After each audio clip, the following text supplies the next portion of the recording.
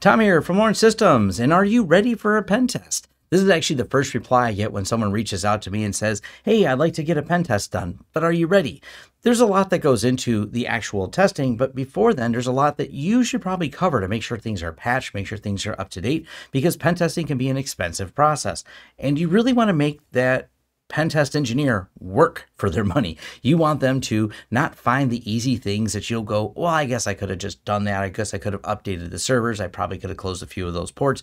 You want them to come in and look for the hard things. You want to leverage all the skill they bring and say, I want them to look for the angles I may have missed because that's ultimately what you're paying them for. And yeah, remember, they're generally looking for things on a how easy is it? They're going to try the obvious. Did you patch it? They're going to try the obvious. Did you close RDP? And then keep escalating from there. But there's a lot of scoping that goes in this. There's a lot of details that goes involved in myself not being a pen tester. Matter of fact, if you reach out and call us for a pen test, I refer it over to Jason Slagle, president of CNWR and good friend of mine. Jason Slagle is an excellent security researcher, and he's going to join us in an interview here to define what a pen test is, what a pen test isn't, and how you can prepare for it. We're also, as I said, going to be referencing some of the links down below because I want to make sure you have plenty of resources to gain a good understanding and a lot of things you can just do yourself to take a look at your network and take a look at your systems and make sure that you are prepared for the next step. All right, and Jason's going to tell us exactly what a pen test is, or actually, we probably back it up. Do you need one? That's yeah. where we should really start. yeah, we. Uh, it's it's an interesting question because uh, we you know we get asked this all the time. Like, oh, I need a pen test. Can you do a pen test for me? And after like a twenty minute conversation, what comes out of it is that's not actually what they're after.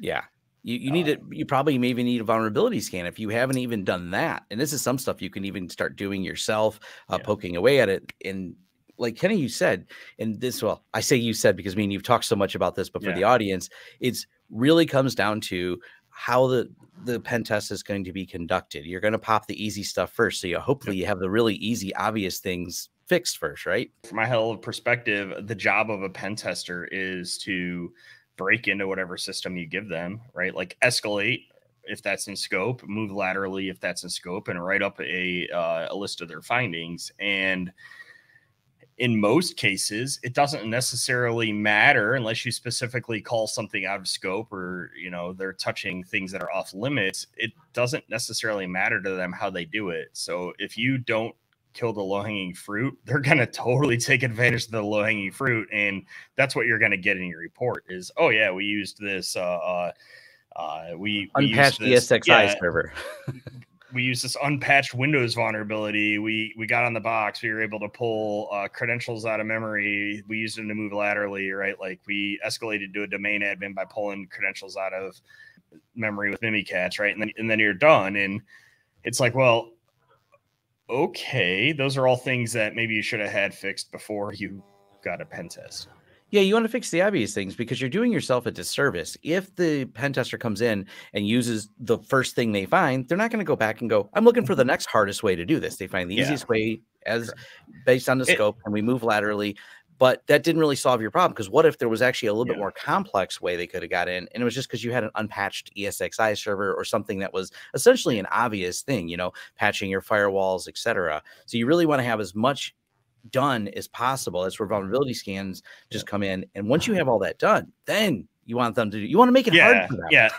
yeah. And I mean, this segues perfectly into like, let's talk about, you know, based on our little outline we're using here, right? Like, and I'll share it in my forum post down in the links below so people yeah. can have the outline of the scoping of a pen test and all the steps. Pen tests are typically time boxed engagements right? So when you actually hire a pen tester, you're not hiring them to pen test your application because you know you can literally throw stuff at the wall forever. Uh, what you typically are hiring is a fixed scope, right? And, and typically it'll be a set amount of time a week, two weeks is pretty common. Uh, and then on top of that, there'll be a couple of days to end up writing up the report, right? So you know, you'll see something like uh, uh, you know a 40 plus eight, where it's like they're gonna throw, they're gonna spend 40 hours trying to break into your stuff, and then they're gonna spend eight hours at the end of it gathering up all their notes and and you know writing up the report that you get.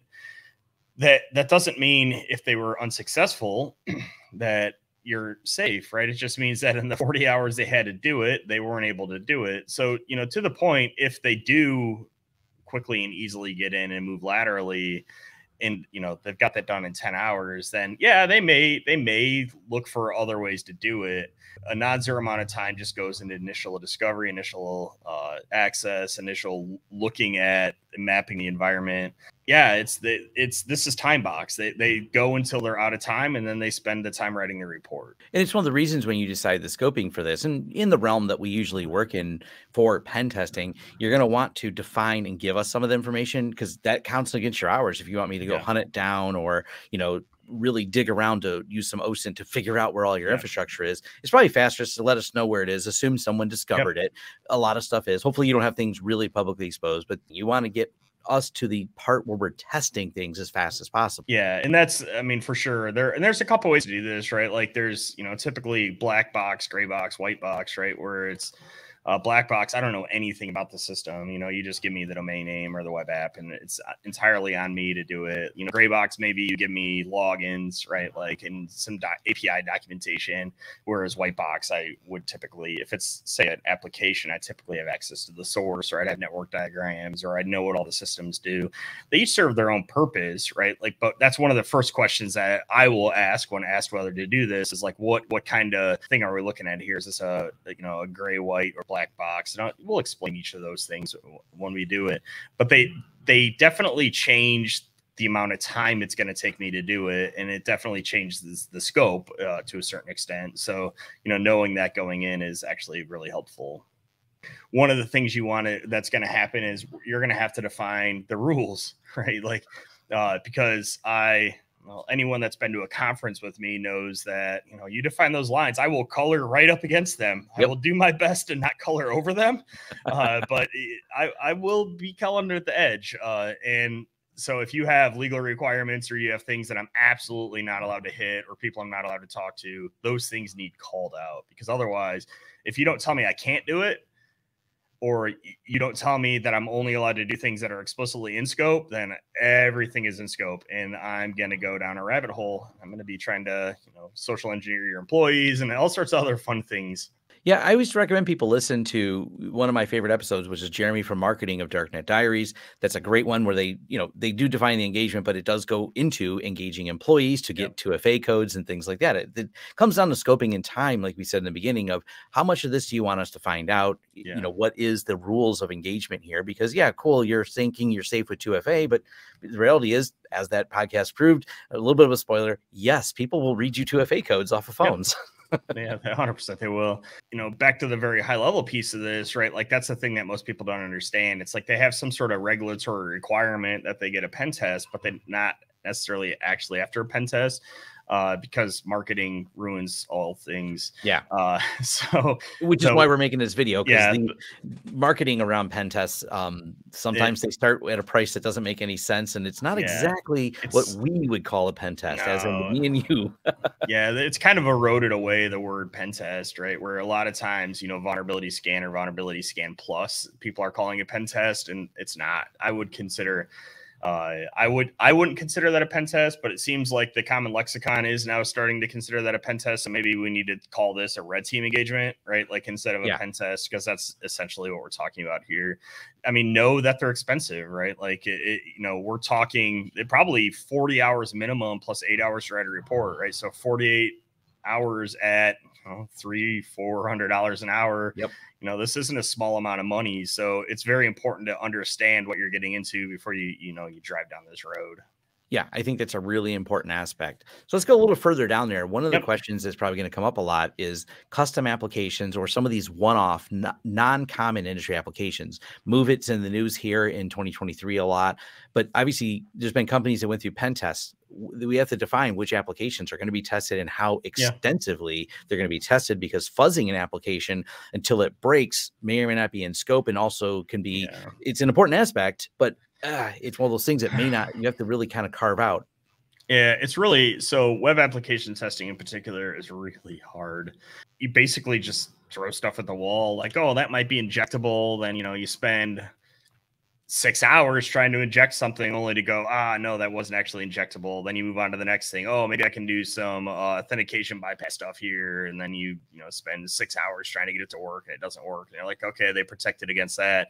Uh, you end up down these rabbit holes that, you know, you easily sink hours into this looks like it could be a thing. And then it turns out that some downstream system protects it in a way that isn't immediately obvious to you. So you end up just waste a bunch of time going down a road there.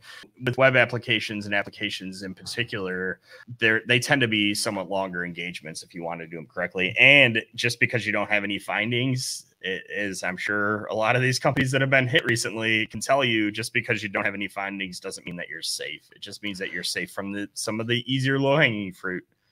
Yeah, and this is something to, to think about too, because you can't just take, hey, I had a pen test, I'm good. No one can ever get in this system and it can be a bit of a challenge because of these other vulnerabilities and new techniques that come out mm-hmm. all the time. This is an ever evolving, not a static type of thing that happens. It's not like here's the checklist. This is the only things we do. We may have a checklist of the processes we follow, but when it comes to techniques, that's the ever evolving part. That yeah. hey, a pen test from even two years ago is not the same as it is yeah. today because the techniques have evolved. Um, a few resources I'm going to throw out there and recommend here as as we get to the end of this. Check out like the Black Hill Cyber Talks. They're definitely stuff. If you just want to go deep, just how crazy some of these pen tests are, it's one of those further reading things. Besides any of the Darknet Diaries, uh, any yeah. of the Red Team stuff on a Darknet Diaries is always a whole lot of fun. Yeah. Any other uh, resources uh, you think of, Jason? Or you probably recommend? No, there's. uh I'll send you a couple like basically pen tester workbooks, worksheets, stuff like that, right? So like anything as as we covered earlier in this,